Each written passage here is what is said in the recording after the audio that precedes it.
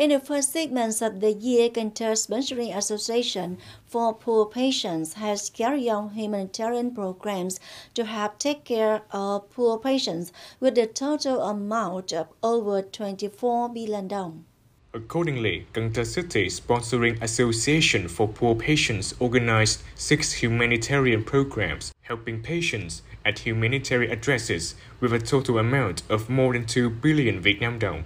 In addition, the association also implements programs to help the poor, especially poor patients and their family members taking care of patients, with the amount of 22 billion 295 million Vietnam dong.